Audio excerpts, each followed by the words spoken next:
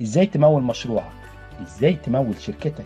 أنت أكيد هتحتاج شروحات فن 101 مادة المالية. أنا معاك ما تقلقش وما تشيلش هم. دكتور حسين. النهارده هنشرح تشابتر 10 في منهج الفاينانس المالية أساسيات المالية. The Fundamental of Capital Budgeting. هنتكلم على أساسيات الميزانيات الرأسمالية. ووضع الميزانية الرأسمالية للشركات. أول حاجة هنبدأ بيها Learning Objectives. في الأهداف التعلم في الشابتر ده هنتكلم على discuss the capital budgeting decision are the most important investment decision made by a firm management. هنتناقش إن قرارات الميزانيات الرأسمالية للشركات هي بتبقى أهم قرارات استثمارية بتتعمل بإدارة الشركات. هدف التعلم الثاني explain the benefit of using the net present value. هنتكلم إيه هي نشرح إيه هي مزايا ومميزات ومكاسب استخدام القيمة الحالية الصافية NPV method to analyze capital expenditure decision. عشان نقدر نعمل عملية تحليل للمصاريف قرارات المصاريف الرأسمالية. calculate the NPV for a capital project. وهنقدر إزاي نحسب ونعمل عملية حسابية لحساب القيمة الحالية الصافية for a capital project لرأس مال لمشروع معين. هدف التعلم الثالث.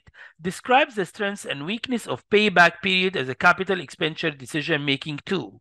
هنصف إيه هي قوة وضعف فترة الاسترداد للمصاريف الرأسمالية قرارات المصاريف الرأسمالية ودي إزاي بتكون أداة أداة مهمة بالنسبة لي؟ بتبقى decision making tool أداة لصنع القرار compute the payback period for a capital project وهنحسب مع بعض فترة الاسترداد للرأس مال المشروع هدف التعلم الرابع explain why the accounting rate of return ARR is not recommended for use as capital expenditure decision making tool هنشرح ليه معدل العائد المحاسبي ARR is not recommended. مش يعني يعني مش مطلوب قوي منه أو يعني مبقاش عليه طلب لاستخدامه كأداة صنع قرار لل capital expenditure للمصاريف الرأسمالية.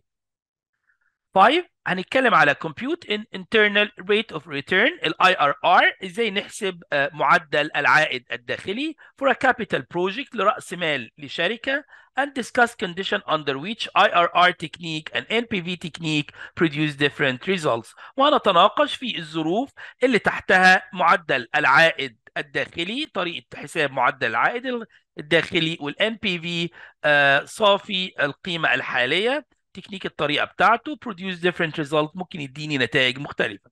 هدف التعلم السادس explain the benefits of post audits and ongoing review of capital projects.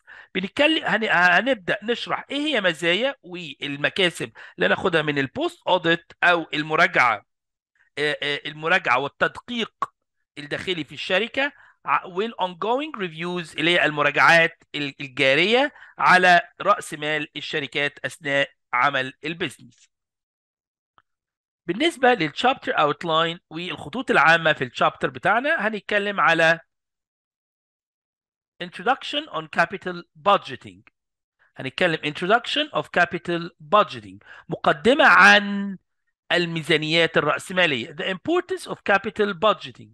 أهمية الميزانيات الرأسمالية أو الميزانية الرأسمالية في المشروع هنا أنا عندي بعض النقاط الهامة لازم أكون عارفها capital budgeting decision are the most important investment decision made by the management هنا قرارات الميزانيات الرأسمالية هي أهم قرارات استثمارية بيتم اتخاذها عن طريق الإدارة.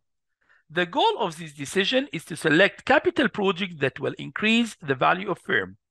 هدف القرارات دي اللي أنا بختار الميزانيات الرأسمالية للمشاريع اللي بتزود قيمة المؤسسة.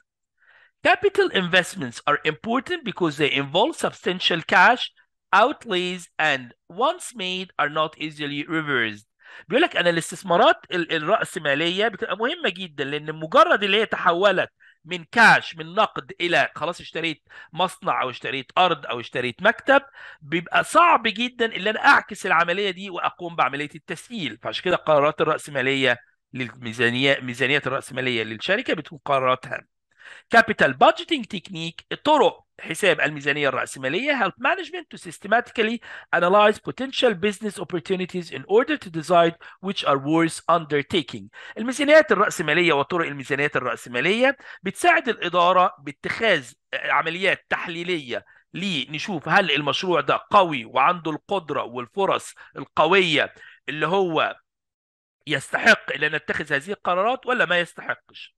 okay نخش بعد كده على ال capital budgeting process عملية ال capital budgeting أو الميزانيات الرأسمالية أول حاجة لازم أكون فاهم إن capital budgeting process start with a firm strategic plan which spells out its strategy for the next three to five years. الميزانية طرق طريقة الميزانية الرأسمالية بتبدأ بخطة استراتيجية للمؤسسة which spells out a strategy for the next three or five years بتكون الخطة دي بتوضح وتبين وتنطق وت... وت... وت... وتعرف الاستراتيجية للشركة خلال الثلاث وخمس سنوات القادمة. The process that continues with with the with the division manager who convert the firm's strategic objective into business plan. وفي عملية تانية اللي هي بتبقى مستمرة هي اللي هي بتحول اللي هم مديرين الإدارات بيحولوا الخطة الأهداف الاستراتيجية إلى خطة عمل في المشروع والبزنس اللي هي business plan. اللي هي خطة المشروع طبعا خطة المشروع. The capital budget is generally prepared by the CEO staff and financial staff at the divisional and lower level. غالبا الميزانيات الرأسمالية capital budget الميزانية الرأسمالية للشركة عامة بيتم تحضيرها باللي هو المجموعة اللي حوالين المدير التنفيذي للشركة اف أو اللي هو المدير التنفيذي للشركة وال financial staff اللي هي الإدارة المالية على مستوى الأقسام والمستويات ذات الأقل من الإدارة العليا. Source of information مصدر المعلومات عندي most of information needed to make capital budgeting decision is generated internally like beginning with the sales force. معظم المعلومات أو أكثر المعلومات اللي أنا محتاجها لصنع الميزانية الرأسمالية وقرارات الميزانية الرأسمالية بيتم توليدها generated internally يتم توليدها أو التعرف عليها أو الحصول عليها داخليا داخل الشركة. like إزاي تمول مشروعك؟ إزاي تمول شركتك؟ أنت أكيد هتحتاج شروحات فن 101 مادة المالية. أنا معاك ما تقلقش وما تشيلش هم دكتور حسين.